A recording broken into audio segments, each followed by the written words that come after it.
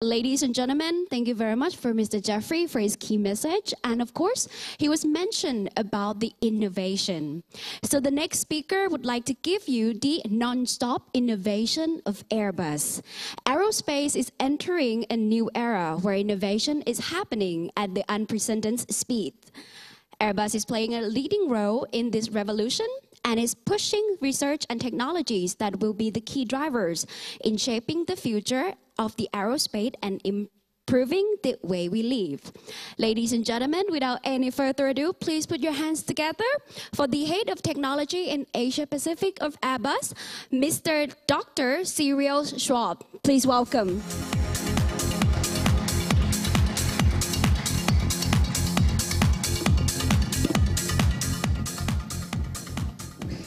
Hello. Thank you for the kind introduction. I'm very happy to be here today with such a numerous audience. and I'm going to talk to you about Airbus and how we see innovation in Airbus. So myself, a bit of background, I'm a mechanical engineer by training. And like it was introduced by Pierre just now, uh, Airbus, we are more and more going towards uh, new technologies, digitalization. Of course, this is not my core expertise, but I will try to give justice to the portfolio of innovation that we do in Airbus and try to introduce how we see the future of flight uh, and how this can uh, benefit to the, to, the, to the world. I will start with this very nice picture. It's an illustration of what Pierre was just saying. You know, everybody knows there is more and more airplane flying. Uh, there is twice as much airplane every 20 years which are flying in our skies. And you can see that uh, it will come with some challenges. Uh, out of my head, you can think so many airplanes, we need to build them. We need to build them faster and faster. And this is not an easy task. Huh? You can imagine such a complex, uh, complex structure.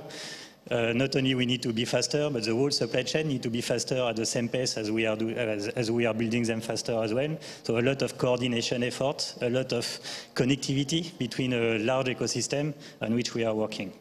Second type of uh, challenges, uh, more and more airplanes, you need to make sure that they are flying properly, that they are maintained properly, and you need to make sure that people will know how to operate them. So you need to use new technologies to fast get, it, get the people to learn faster how to operate them, to find commonalities between the different airplanes, and to maintain them in a more efficient manner. Third type of uh, challenges will be sustainability. More and more airplane, more and more uh, crowded sky. How do you make sure that the industry uh, will be sustainable in the long term? And it's something that we are looking into uh, carefully also. So more challenges, we need to we, we like to see it as opportunities as well because challenges it push it pushes us to be to be better.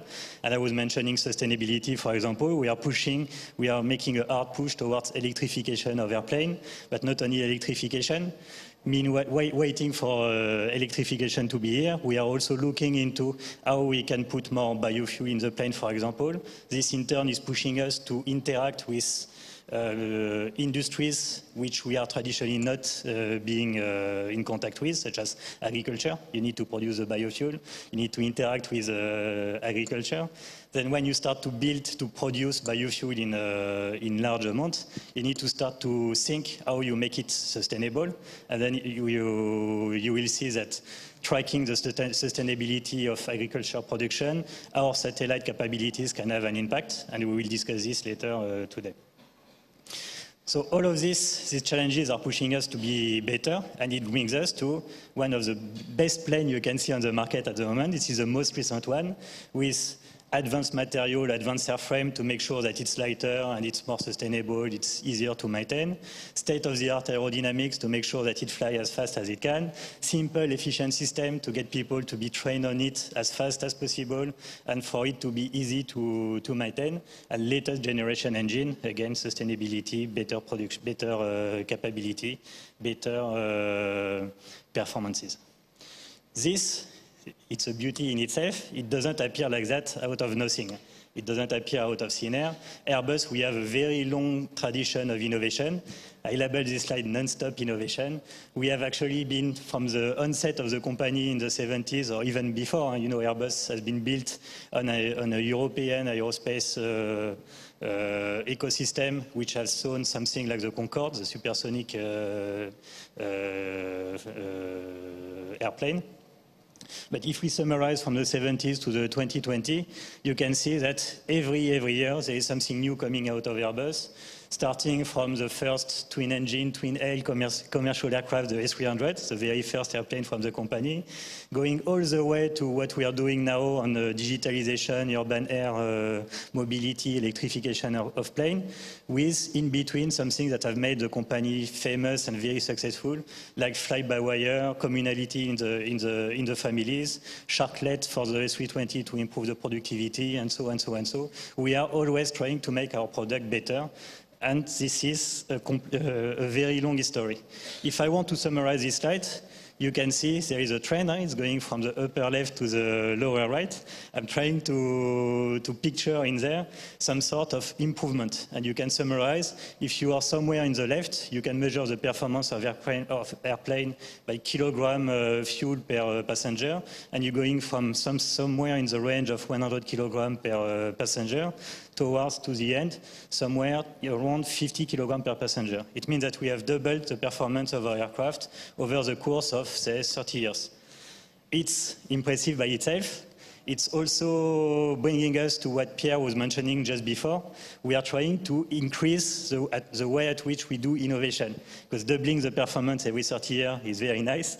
But in the digital era, where you have a new product coming out every two weeks or so, you need to find a way to be able to interact with this different type of pace between innovation on products that we want to embark on our plane and the way we develop our new, a new product every 30 years.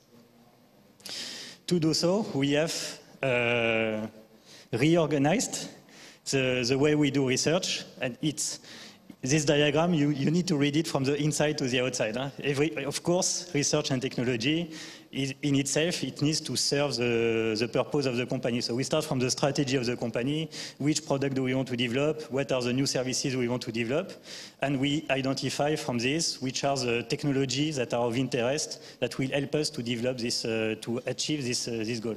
So from this strategy, we develop these technology roadmaps. It's not as easy as it seems. Huh? I was mentioning, for example, at the beginning, biofuel. Biofuel clearly is not a core activity for Airbus. We manufacture plane, we don't grow crops to produce biofuel later. So we are investigating, but we are not doing it ourselves, and we just, we need to select the technologies that will have an impact in the end of our product, even though they are not immediately linked to our product. So we define these technology roadmaps, and for these roadmaps, we need to implement. So of course, traditionally, we will do some R&D projects. What we have been pushing a lot more aggressively, and which is interesting, is in the lower part, is demonstrators, because developing technology and research projects to validate individual technology, this is very efficient, it's a very organized way to do research, but in the end, when you build an aircraft, there will be interaction between a lot of different technologies, and you need to test as soon as possible what will be these interactions. So this is the whole point of having demonstrators, trying to put on a flying test bed, for example, as much of these technologies together, put them in the air and see how it's happening. These are two benefits, seeing this interaction. The second one is also increasing the speed at which we deliver the, the technological improvement because having this kind of uh, push towards putting something in the air as fast as possible, it will align everybody in the company to deliver on time and on, uh, on quality as far as research is concerned, something that can go in the air and not blow up in the middle. Huh? Once we have done that, we have externally, if you want, to the, to the company, two additional layers that we, uh, we have uh, two uh, innovation center, one in uh, A-Cube one we call A-Cube in the Silicon Valley. Everybody knows how fertile is the Silicon Valley for, uh, as an innovation ecosystem. Another one in Shenzhen, which is also a very dynamic ecosystem. Our idea here, if you want, is to edge ourselves, see if we can disrupt ourselves from outside. So these two centers are kind of disconnected from what we do in the, as, a, as a group uh, centrally to try to see what would be something completely new that can change the, the way uh, Airbus is doing business. And the last one, Airbus Ventures and BizLab, is something a bit more opportunistic, where we are looking what's happening and we invest if it can be interesting. So externally to make sure that if something pop up and can be interesting for Airbus or can disrupt Airbus, we are the first one to put our money on this one. this whole thing, uh, it's a very complex organization. Airbus itself is a very complex company, a worldwide company, like Pierre was describing. We like to see ourselves uh, as a, an international company with international pool of talents. Uh, you see the footprint of our research, technology, and innovation ecosystem. It kind of match the footprint of Airbus uh, over the world. For example, in China, we have an engineering center with uh, hundreds of people working on, on airplanes. Same in uh, India. Uh, and we have basically on top of it a network of scouting uh, professionals who help us monitor and check what's happening in the world in the most uh, dynamic technology hub in the world. So this was how we do it. Now, what, what, what, what are we doing? What are the areas that we are investigating in more details? And uh, I have here five, five nice pictures which are illustrating the five areas we see are going to transform the future of flight. The first one, electrification. Second one, urban air mobility. Third one, design digital factory, which is improving how we build our aircraft. Fourth one, connected, connected fleet. The, the, the plane are not individual assets anymore. They are embedded in an ecosystem. They are discussing between themselves and with the ground and with satellites. So how do you make, how do you take uh, benefit out of this?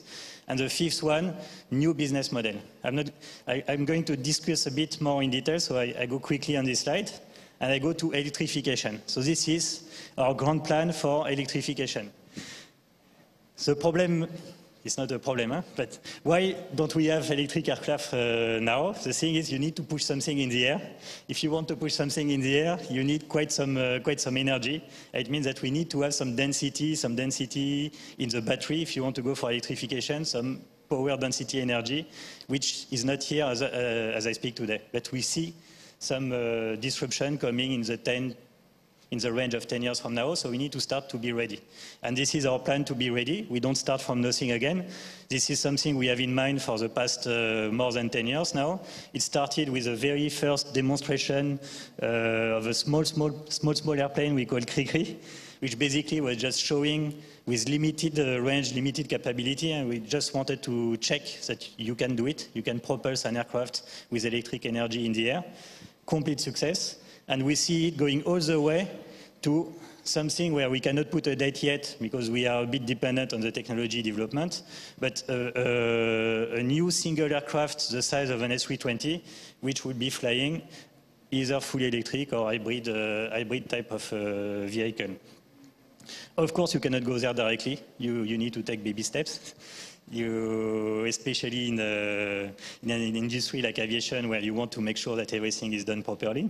So we have done quite, uh, quite some uh, progress already from the very first flight of this uh, very first electric aircraft, the Cricri. We had some historical uh, channel crossing in 2014 or 15, I forgot. But we reenacted the crossing of the channel between UK uh, and France with an electric aircraft. And we are pushing now towards hybrid type of solution because a bit like for the car industry, this is something that is more achi achievable in the short term. To do so, we have some, uh, some plan to, have, uh, to, to test the integration of uh, different uh, power sources and transfer of energy. This is something we do, for example, in our center in uh, Germany, in partnership with, uh, with uh, Siemens and uh, other, uh, other talented individuals from the university ecosystem around here. And before we can push it even further towards this uh, single-aisle uh, hybrid aircraft demonstration, we are, we are taking baby steps with our urban air mobility uh, suite that I will introduce the, shortly after that. Just a few general thoughts on this to add on uh, what is our route to this. Electric aircraft, of course, is a, is, a, is a dream. There are some challenges which I'm not going to, to highlight here uh, immediately.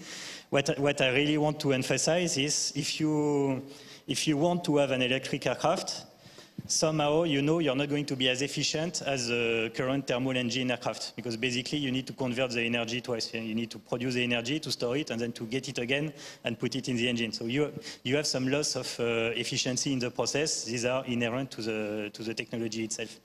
So the electrification itself can only be interesting if it comes with some more generic thinking on how you're going to improve the overall design of the aircraft, taking advantage of other benefits that can come with the electric engine.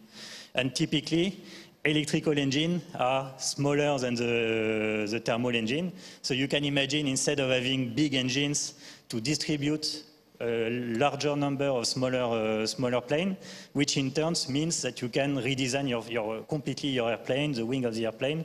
It's, it's changed completely the design envelope of the aircraft, meaning that you can try to be more efficient. Maybe you can remove the vertical plane because you can control the way the, the plane is, uh, is changing direction. You have a lot, a lot of potential opportunities that will come out of this. Uh, the, the, the, second thing that will be uh, really, uh, really interesting in this, uh, in this, in this kind of uh, thinking is, again, you're not optimal because you are transferring energy from battery to the engine and so and so. So you are passing huge amount of electricity through cables, and there will be some heat, uh, some heat loss in the process what, what kind of thinking, how can you use this to generate, for example, I, say something stupid, you use it to eat the, the meal of the people in the, in, the, in the plane, you're saving on the, on the electricity you need to use, you don't need to have an oven anymore, this kind of thing. So this is another type of thinking that is not clear to me yet, but there will be plenty of opportunities coming out of the challenges that are coming with this, uh, this new technology. Now I'd like to go to more the second area, urban air mobility. It's a very, very uh, interesting thing. It's something that can transform the way uh, we live. Everybody is living uh, in our cities nowadays. Bangkok is a very good example. All our cities are crowded, a lot of traffic jam, a lot of uh, transfer from one point to the other. You don't know how much time it's going to take. It's going to cost you a lot of money because traffic jam. Maybe it's raining and you cannot find a taxi. What are the solutions for this? And basically at Airbus, we think that there is a third dimension. This is our specialty that can help uh, make the, the, the life in the cities safer no more traffic jam, no more cars, using, let's say, the ground level where people can uh, move freely and uh, unarmed. It's going to be quieter and uh, more healthier because all these kind of vehicles we envision, they can only uh, rely on electrical power, meaning no emissions. And uh, the, I'm, I'm losing things. And the, the, the, third thing that is really, really important in this kind of things is you, you have something that is going to be connected. The connection, interconnection of different type of uh, transport system is a problem of all megacities in the world as, uh, as of today. Our answer to this is uh, developing urban air mobility. For us, it's, it's been enabled by the convergence of different type of uh, technologies. We were talking electrification. We are at a point where we have uh, capabilities to make this kind of uh, vehicle fly with, our, uh, with the current capability uh, of the technology. We are able to produce these things. There have been tremendous advance in manufacturing capabilities, light, light, light, light type of structure that can uh, make it possible to, to lift these things with uh, electrical power.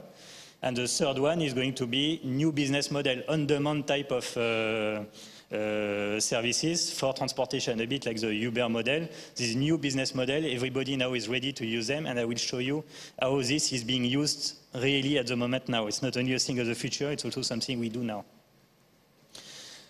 I, am just making a quick, uh, a quick overview of the portfolio before I, I, uh, I dive in one particular example if we want to have a lot of these things flying in the, in the sky, there will be one main challenge that needs to be answered very, very fast is how do you uh, make, this, uh, make this thing flying in an orderly fashion, if you want. For airplane, you have traffic management. We need to have the equivalent for the human, urban, air, urban air mobility platforms, some sort of traffic management, some rules how you're supposed to fly the, the thing, in which uh, way do you interact with the others, how do you maintain them, how do you make sure there is no accident, how do you make sure that safety is, uh, for the passenger is, uh, is, uh, is, uh, is, uh, is monitored. For this, we have developed a, a project called Altiscope. If you want, it's some sort of uh, consulting work to check what, what needs to be the rule, what are the, the constraints, and how to deploy in the current urban environment some sort of rule for, uh, for traffic management. The upper two that you see there, then City Airbus and Vahana, are actual vehicles to, to transport people. The difference between the two is City Airbus is a bigger one. Vahana is a prototype we've been developing for two, two people. It's been flying uh, early, early this year. It's showing that we can do it with state-of-the-art technology. The one City Airbus is going to be a bigger one where we are going to push a bit further the envelope, uh, developing, uh, pushing a bit more the capabilities, the energy content of the batteries to make to, to embark more people uh, in the vehicle. The one on the bottom right, Skyways, is transporting people is one thing, but in, the, in our cities with e-commerce developing, you need also to transport goods faster. And in the urban environment, some type of goods you need to transport even faster than you can now. So don't, don't think scooter, don't think, uh, don't think uh, trucks.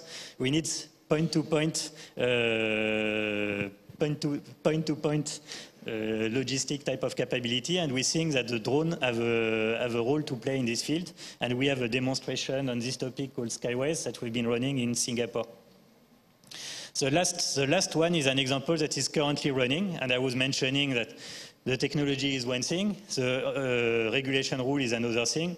You need also to have this business model in place to understand uh, how many people actually want to have this, uh, this, uh, this service and in which city it would make sense. So we have been developed something we call VOOM, which is actually based on existing platform.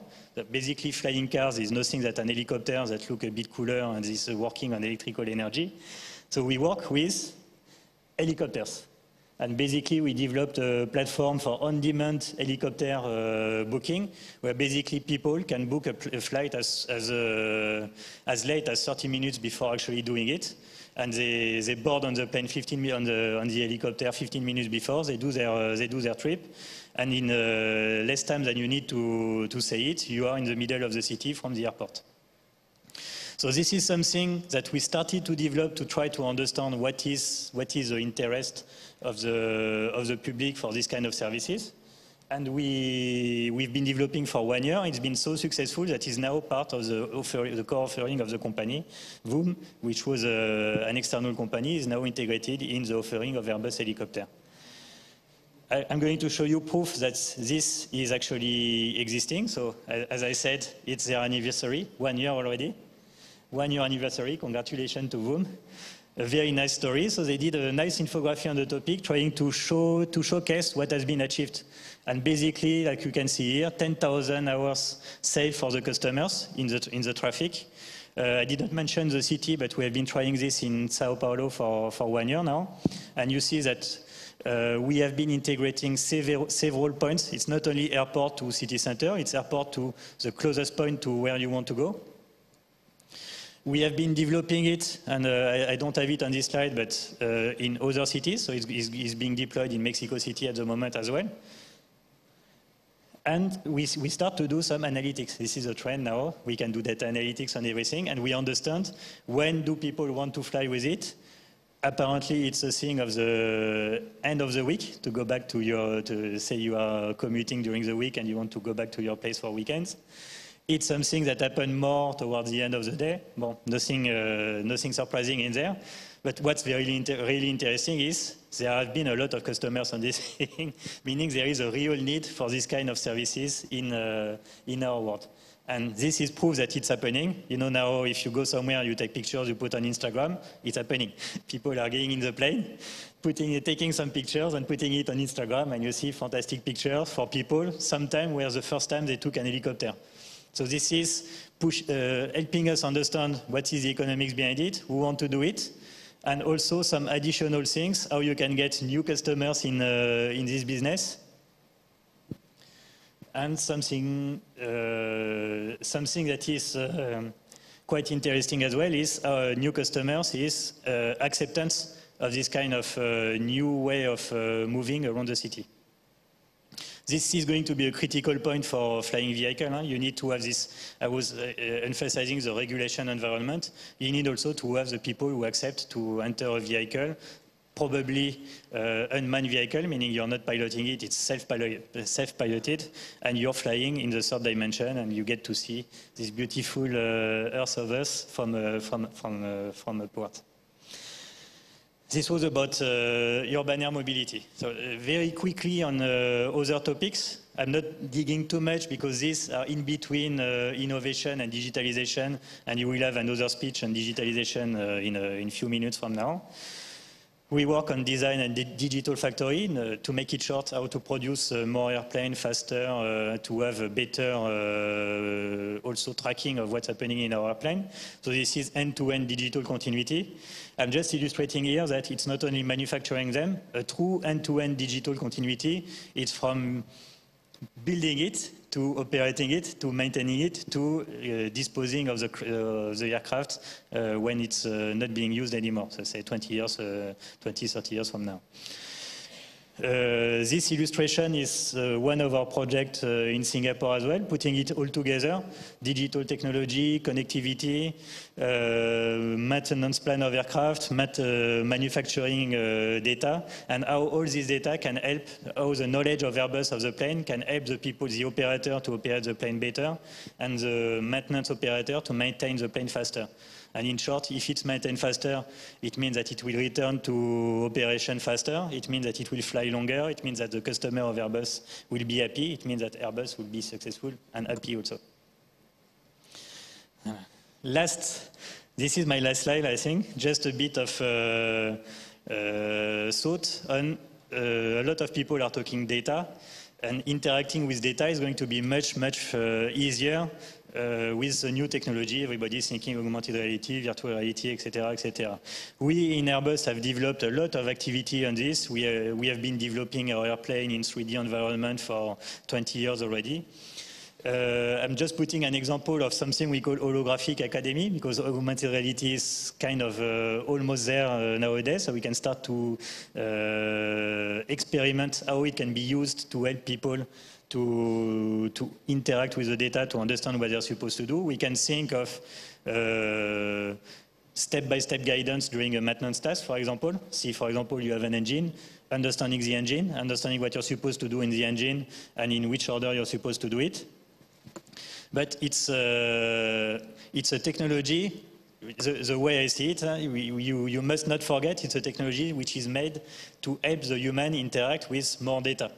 And uh, I have another example, which is maybe a less, uh, less fancy, but uh, as interesting as augmented reality is this kind of uh, collaborative tools where you, uh, you, you, can gather a team, multifunctional team between different uh, people from different uh, organizations, try to synthesize the data that everybody can uh, look at the same data, a single source of truth, get everybody to understand how to make a decision to solve a crisis, for example, and then take decision from them. So helping to the decision making is something that is very important.